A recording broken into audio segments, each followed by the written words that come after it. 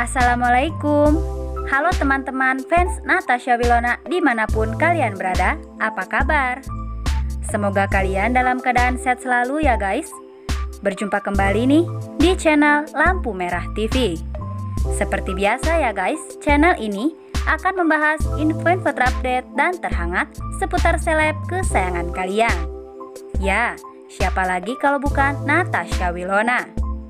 Namun sebelum lanjut ya guys, bagi kalian yang baru saja bergabung dan menonton video ini, jangan lupa ya guys, klik tombol subscribe dan nyalakan juga lonceng notifikasinya.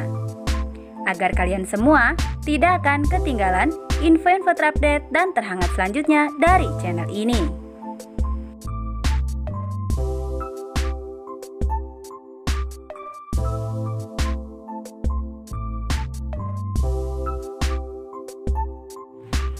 Nah guys, aktris cantik multitalenta Natasha Wilona memang tak pernah luput dari sorotan serta pusat perhatian. Terlebih lagi, jika hal tersebut selalu berkaitan dengan kehidupan pribadi dan juga asmaranya, yang seakan hal tersebut selalu menjadi daya tarik tersendiri bagi para netizen.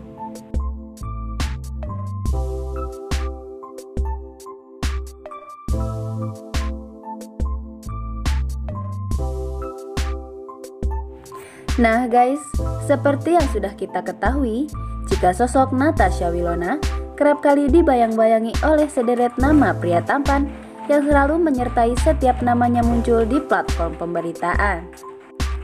Dan tentu kita pun tahu ya guys, salah satu di antaranya ada nama pengusaha Melvin Tenggara yang nampaknya sampai saat ini masih erat kaitannya dengan aktris cantik tersebut.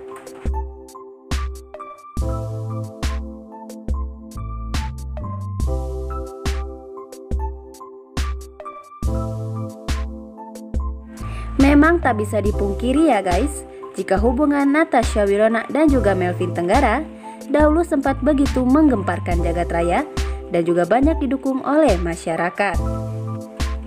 Dan mungkin oleh sebab itulah, hingga kini masih membuat nama Natasha Wilona dan juga Melvin Tenggara selalu disengkut pautkan di hampir setiap saat.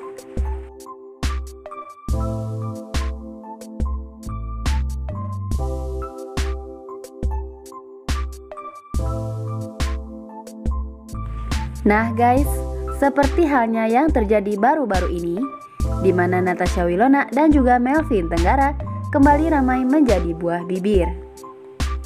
Hal tersebut terjadi lantaran Natasha Wilona yang tak sengaja ungkap hal mengejutkan soal Melvin Tenggara di sebuah kanal YouTube.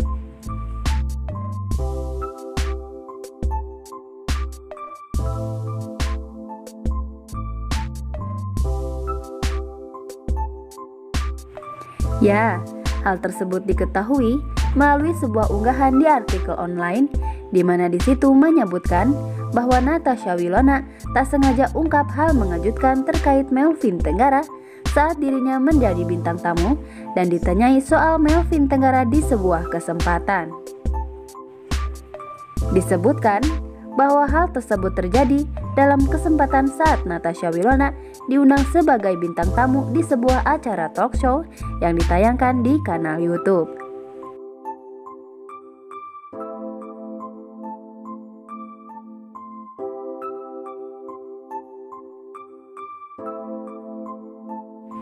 Yang tak ayal ya guys, tak sedikit warganet yang penasaran perihal hal apakah yang tak sengaja Natasha Wilona ungkapkan terkait seorang Melvin Tenggara di kesempatan tersebut.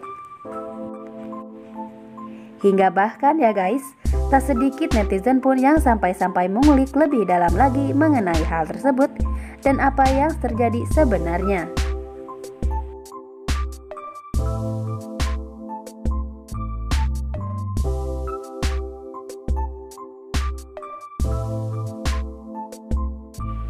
Nah guys, dalam kesempatan itu, Natasha Wilona diketahui diundang sebagai bintang tamu. Hingga di situ, topik pembicaraan pun cenderung menjurus pada seputar kisah percintaan dari seorang Natasha Wilona. Pada awalnya, Natasha Wilona ditanyai perihal tipe pria idealnya saat ini seperti apa.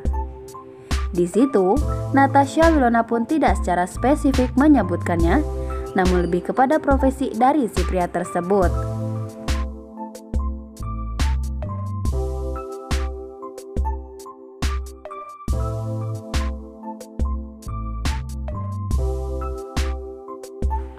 Di mana di situ, menurut pengakuan seorang Natasha Wilona, jika dibandingkan dengan selebritis, ia lebih memilih memiliki pasangan dari kalangan biasa, seperti misalnya seorang pengusaha. Tak ayal ya guys, di situ pun entah kenapa si pembawa acara itu pun langsung spontan menyebutkan nama Melvin Tenggara sebagai salah satu contohnya. Yang sontak hal tersebut pun menghentakkan Natasha Wilona hingga ia terkaget-kaget serta wajahnya pun langsung bersemu.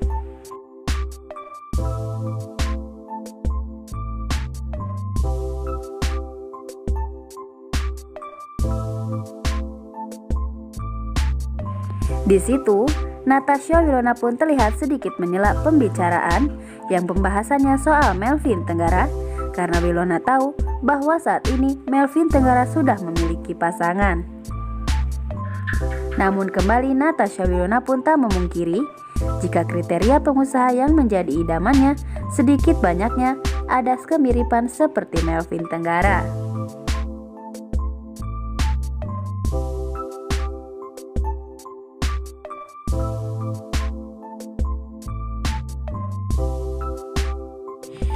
Ya, kita doakan saja ya guys. Semoga meskipun tidak bersama dengan Melvin, namun harapan Wilona untuk mendapatkan pasangan seorang pengusaha bisa segera terwujud ya guys. Dan tentunya kita pun selalu berharap agar kehidupan Wilona selalu dikelilingi dengan orang-orang yang baik yang tulus menyayangi dirinya ya guys.